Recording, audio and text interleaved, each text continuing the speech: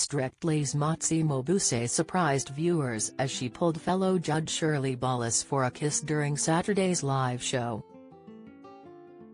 The second week of the BBC Dance Competition series kicked off as Tess Daly and Claudia Winkleman welcomed the celebs and their partners back to the dance floor. But before the actions kicked off, the camera panned to the four judges, Craig Revel Horwood, Motsi Mabuse, Anton Du Beke, and Shirley Ballas, as they showed off their huge smiles and dazzling outfits.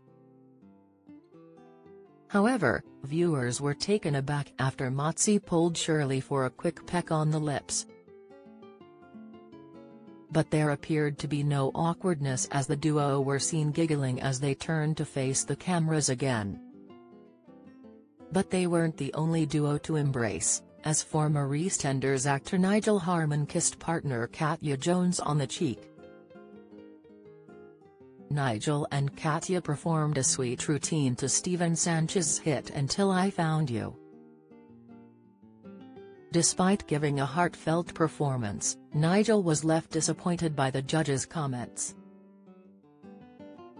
Although Shirley praised his graceful arms and lovely connection she noted there was too much up and down, and technical errors.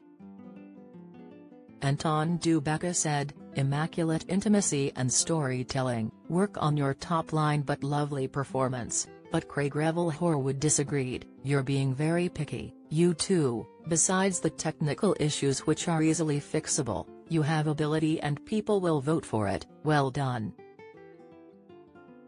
Motsi Mabuse added, I have to agree with Craig, what's happening? Just try to align yourself.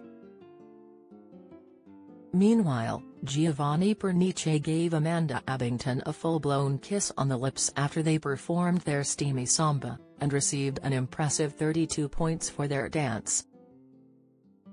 Fans were amazed by their chemistry and immediately took to Twitter to react to their sizzling performance.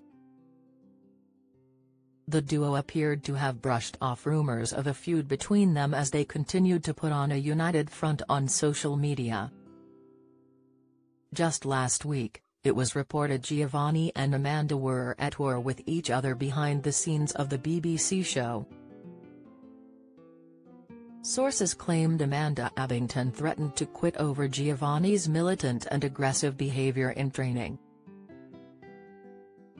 Follow Mirror Celebs on Snapchat, Instagram, Twitter, Facebook, YouTube and Threads.